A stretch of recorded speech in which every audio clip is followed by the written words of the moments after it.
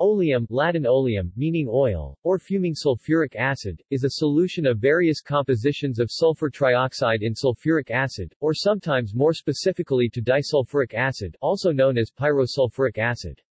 Oleum is identified by the CAS number 8014-95-7 EC, list number, 616-954-1, ECHA Infocard, 100.116.872, Oleums can be described by the formula YSO3, H2O where Y is the total molar sulfur trioxide content. The value of Y can be varied, to include different oleums. They can also be described by the formula H2SO4, XSO3 where X is now defined as the molar free sulfur trioxide content. Oleum is generally assessed according to the free SO3 content by mass. It can also be expressed as a percentage of sulfuric acid strength. For oleum concentrations, that would be over 100%. For example, 10% oleum can also be expressed as H2SO4.0.13611SO3, 1.0225SO3, H2O or 102.25% sulfuric acid.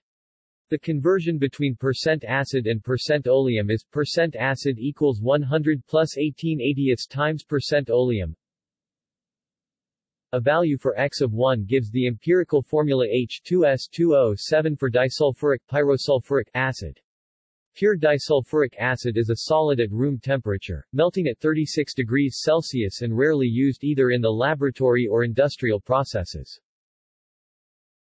Production Oleum is produced in the contact process, where sulfur is oxidized to sulfur trioxide which is subsequently dissolved in concentrated sulfuric acid. Sulfuric acid itself is regenerated by dilution of part of the oleum. The lead chamber process for sulfuric acid production was abandoned partly because it could not produce sulfur trioxide or concentrated sulfuric acid directly due to corrosion of the lead, and absorption of NO2 gas. Until this process was made obsolete by the contact process, oleum had to be obtained through indirect methods. Historically, the biggest production of oleum came from the distillation of iron sulfates at Nordhausen, from which the historical name Nordhausen sulfuric acid is derived. Applications Sulfuric acid production Oleum is an important intermediate in the manufacture of sulfuric acid due to its high enthalpy of hydration.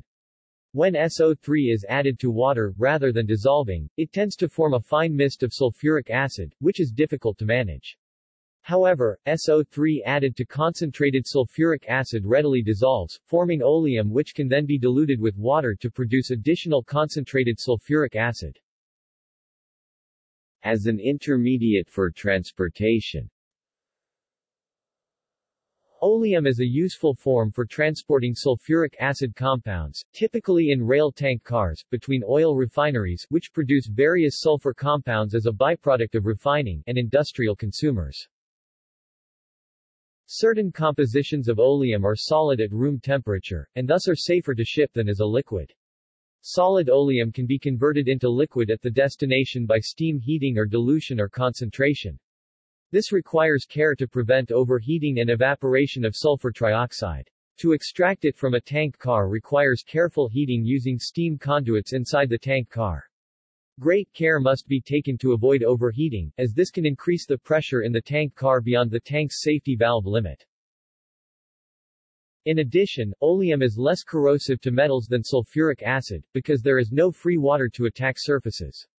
Because of that, sulfuric acid is sometimes concentrated to oleum for in-plant pipelines and then diluted back to acid for use in industrial reactions. In Richmond, California in 1993 a significant release occurred due to overheating, causing a release of sulfur trioxide that absorbed moisture from the atmosphere, creating a mist of micrometer-sized sulfuric acid particles that formed an inhalation health hazard. This mist spread over a wide area. Organic chemistry research Oleum is a harsh reagent, and is highly corrosive. One important use of oleum as a reagent is the secondary nitration of nitrobenzene. The first nitration can occur with nitric acid in sulfuric acid, but this deactivates the ring towards further electrophilic substitution. A stronger reagent, oleum, is needed to introduce the second nitro group onto the aromatic ring.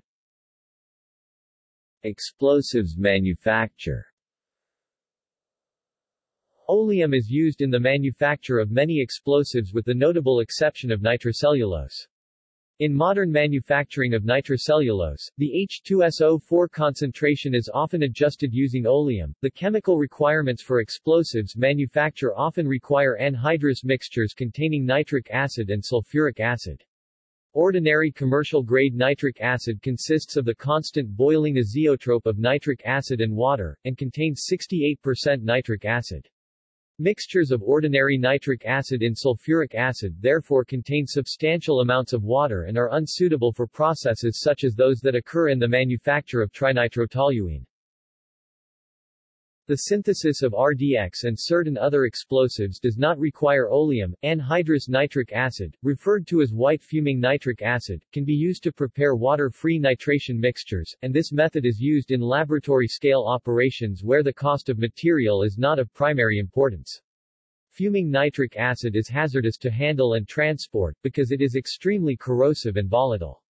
For industrial use, such strong nitration mixtures are prepared by mixing oleum with ordinary commercial nitric acid so that the free sulfur trioxide in the oleum consumes the water in the nitric acid. Reactions like concentrated sulfuric acid, oleum is such a strong dehydrating agent that if poured onto powdered glucose, or virtually any other sugar, it will draw the elements of water out of the sugar in an exothermic reaction, leaving nearly pure carbon as a solid. This carbon expands outward, hardening as a solid black substance with gas bubbles in it. References